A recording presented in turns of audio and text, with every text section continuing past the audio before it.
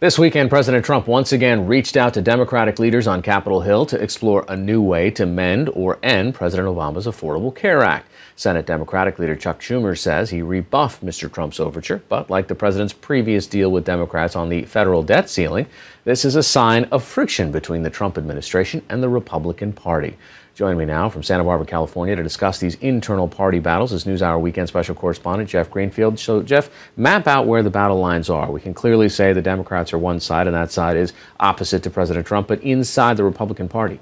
Well, you've had President Trump express displeasure with Senate Leader Mitch McConnell for a while.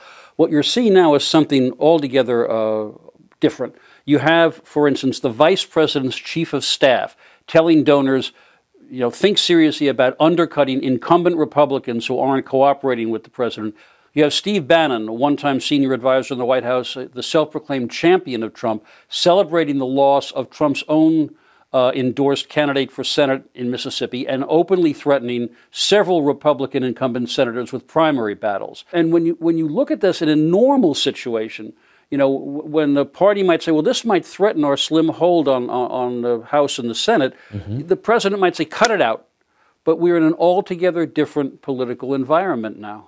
And how do the, the tensions with uh, Secretary Tillerson play into this? And also, well, somebody who wanted to be Secretary of State at one point, as President says, is uh, uh Senator Bob Corker.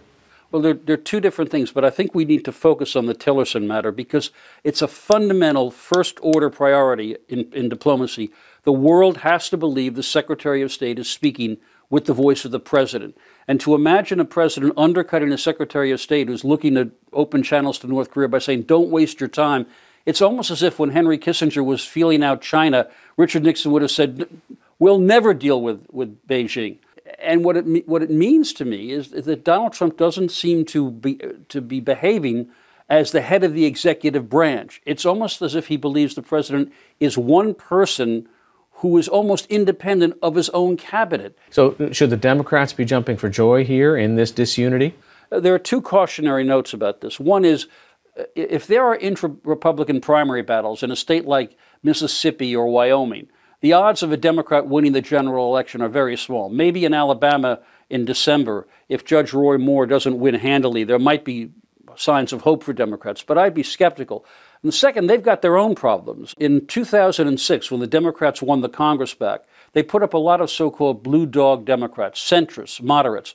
Well, the Democratic base now has moved significantly left on issues like single payer, on the kinds of, uh, of populist themes that, say, Bernie Sanders and Elizabeth Warren have struck. So the idea that the, that base of the Democratic Party is going to want to see the Democrats expand their ideological reach in an effort to win the Congress, that's going to create some battles within the Democratic Party. All of this internal strife and tension isn't playing well with the general audience in terms of support of the presidents, even in how Republicans perceive where the country's going the fact that, that the uh, right track, wrong track uh, numbers have shrunk is in part because Republicans are less happy with the direction the country is going. And you do make a really important point.